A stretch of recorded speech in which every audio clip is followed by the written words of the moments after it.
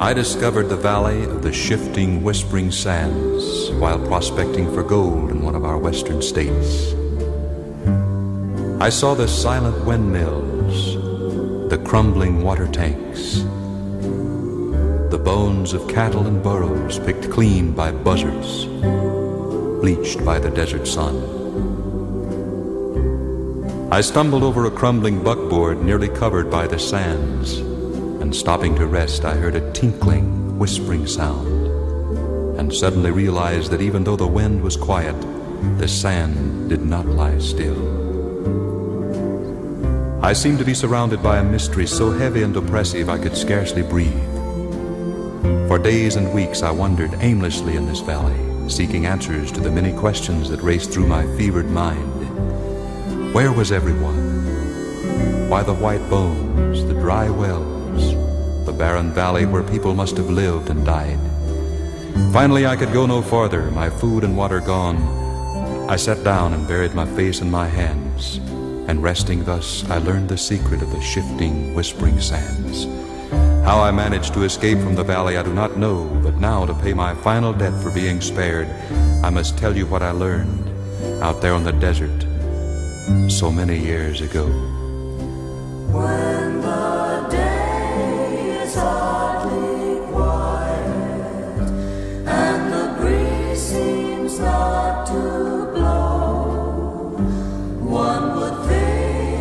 The sand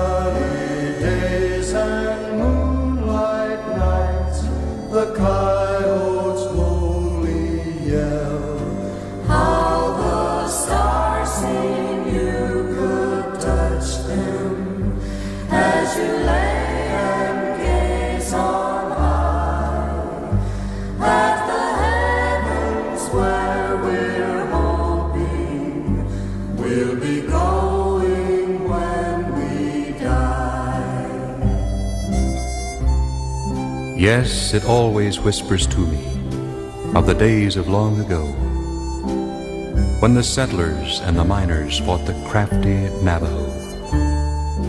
How the cattle roamed the valley, happy people worked the land, and now everything is covered by the shifting, whispering sands.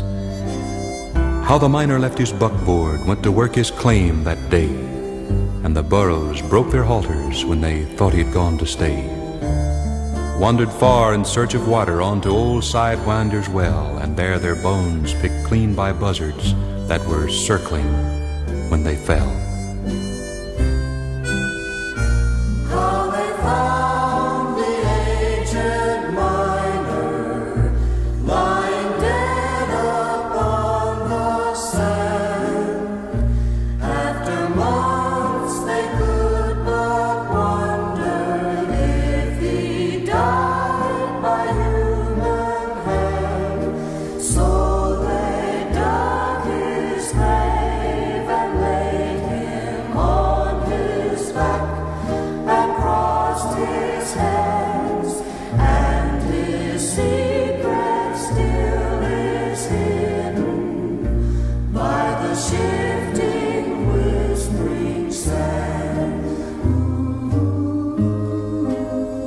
This is what they whispered to me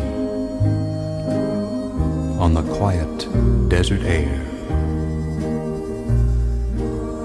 of the people and the cattle and the miner lying there.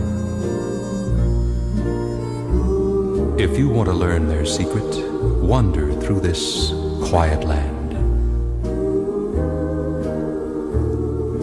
And I'm sure you will hear the story